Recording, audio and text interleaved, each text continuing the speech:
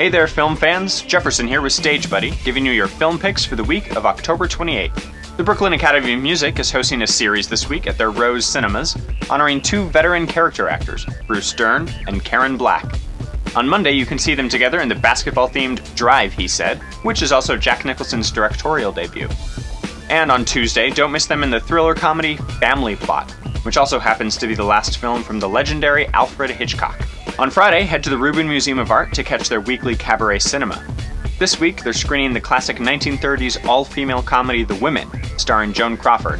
On Sunday, enjoy dinner and a movie at the Crosby Street Hotel, where this week they're screening the acclaimed Danish film The Hunt. And in theaters this weekend, you can see the big screen adaptation of Orson Scott Card's popular sci fi novel Ender's Game, starring such heavyweights as Harrison Ford, Ben Kingsley, and Viola Davis. For more information on these events, check out our full listings at stagebuddy.com and have a fun week.